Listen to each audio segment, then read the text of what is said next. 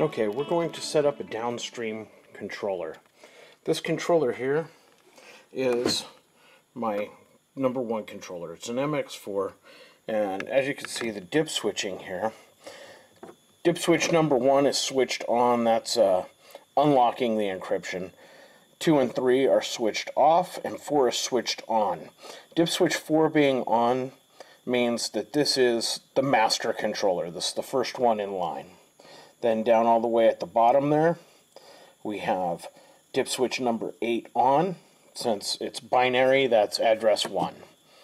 This is the SNIB2 RS485 port on the panel. Our wires hook up.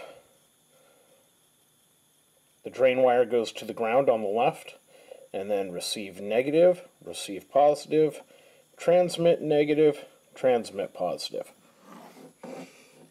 And you can see how I have the coloring set up there.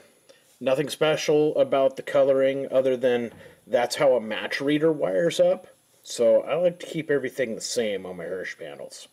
We're going to go to our downstream controller. This is the first panel downstream. So something you'll notice here is my wires are flipped.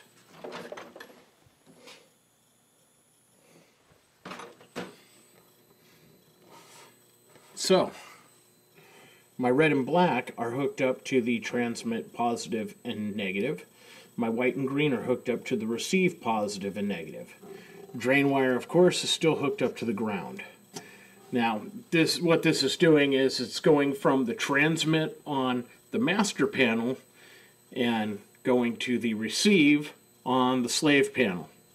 Now, from this secondary controller, you're just going to parallel off of this if you want to add a third, fourth, all the way up to 16. You can put 16 controllers on one loop.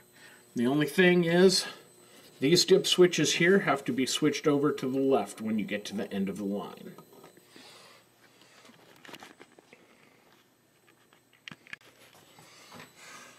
And since this is a downstream controller, you'll notice up here on my dip switches, dip switches 1 through 4, Number four is turned off because this is either the middle or the end of the line.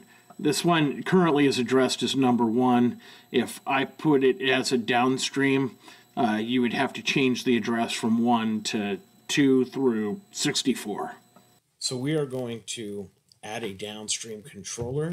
First thing we're going to do, go to our Xbox and add new controller. we're going to call this ASI Demo MX8. It's an MX8 panel. Uh, description, it's in my warehouse, so I will call it warehouse panel. I'm going to give it an address of number two. And we are going to change the model to MX8. Daylight savings is correct. We're going to load the setups from the controller because it was an existing controller, so all the time zones and everything are already put in that controller. I want to bring them into my system. So I'm going to say OK here. And there we go. Panel came online. That is how you add a downstream controller in Velocity.